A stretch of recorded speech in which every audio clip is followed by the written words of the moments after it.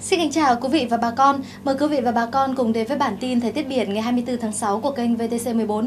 Thưa bà con, hoạt động của bão số 2 trên khu vực Vịnh Bắc Bộ đã gây ra mưa bão và gió mạnh khiến biển động rất mạnh.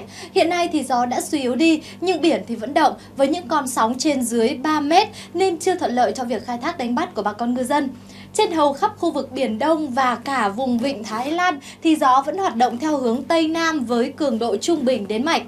Những đám mây đối lưu còn phát triển gây mưa rông rải rác khiến tầm nhìn giảm, phần nào ảnh hưởng đến việc di chuyển của tàu thuyền. Trong đêm nay thì trên khu vực Vịnh Bắc Bộ, đặc biệt là phần phía Bắc thì mưa rông vẫn còn diễn ra. Tuy nhiên, gió giảm hẳn về cường độ chỉ đạt khoảng cấp 4, cấp 5 và thổi đều theo hướng Tây Nam nên biển êm ả dần trở lại. Trên khu vực Biển Đông thì kể cả vùng ven bờ và khu vực Vịnh Thái Lan, gió có hướng Nam đến Tây Nam với cường độ suy giảm và mưa rông cũng có xu hướng giảm dần. Riêng tại khu vực Bắc và giữa của Biển Đông còn có mưa rông rải rác nên bà con ngư dân cần thận trọng khi khai thác hải sản trên những vùng biển này. Tiếp theo là phần dự báo chi tiết cho các vùng biển trong 24 giờ tới.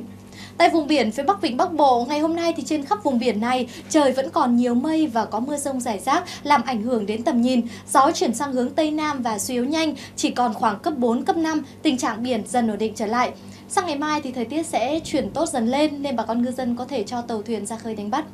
Tại vùng biển Nam Vịnh Bắc Bộ, thời tiết tại đây ít mưa hơn phần phía Bắc. Những cơn mưa rông còn diễn ra nhưng không kéo dài và gió thịnh hành theo hướng Nam với cường độ khoảng cấp 4, cấp 5. Tình trạng biển tốt lên nhiều, tàu thuyền có thể hoạt động trở lại lui xuống vùng biển miền Trung, khu vực từ Quảng Trị đến Quảng Ngãi, đảo Cồn Cỏ, Lý Sơn. Trên vùng biển này thì gió thổi đều theo hướng Tây Nam với cường độ trung bình nên không gây biển động. Mưa cũng có xuống giảm dần, chỉ còn xuất hiện ở một vài nơi nên tầm nhìn xa thoáng. Bà con ngư dân có thể khai thác hải sản trên vùng biển này vào ngày mai. Còn tại vùng biển từ Bình Định đến Ninh Thuận, đảo Phú Quý cũng chịu sự chi phối của đới gió Tây Nam có cường độ khoảng cấp 4, cấp 5. Nhưng đám mây đối lưu cũng không còn phát triển mạnh nên mưa rông chỉ diễn ra ở một vài nơi. Thời tiết thuận lợi cho các hoạt động hàng hải cũng như là những hoạt động du lịch biển trên những bãi biển dọc theo vùng biển này.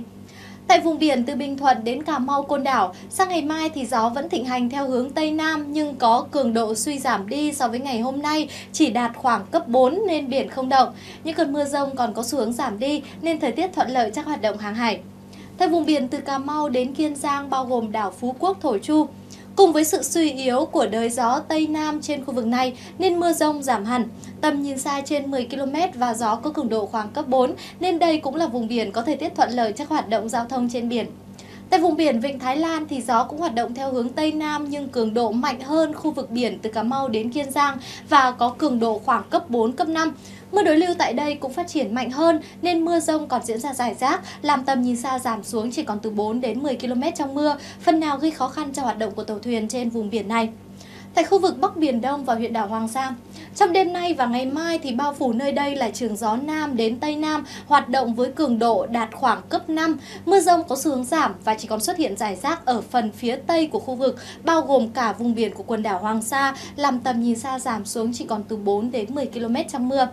Tại khu vực giữa Biển Đông từ 10 đến 15 độ Vĩ Bắc, như đám mây rông trong ngày mai sẽ không còn phát triển mạnh như ngày hôm nay nên mưa sẽ có xu hướng giảm và chỉ còn tập trung ở phần phía Bắc của khu vực. Gió thịnh hành theo hướng Tây Nam có cường độ khoảng cấp 5, thời tiết dần ổn định trở lại. Tại khu vực Nam Biển Đông bao gồm khu vực phía Nam của quần đảo Trường Sa, Huyền Trân và Song Tử Tây.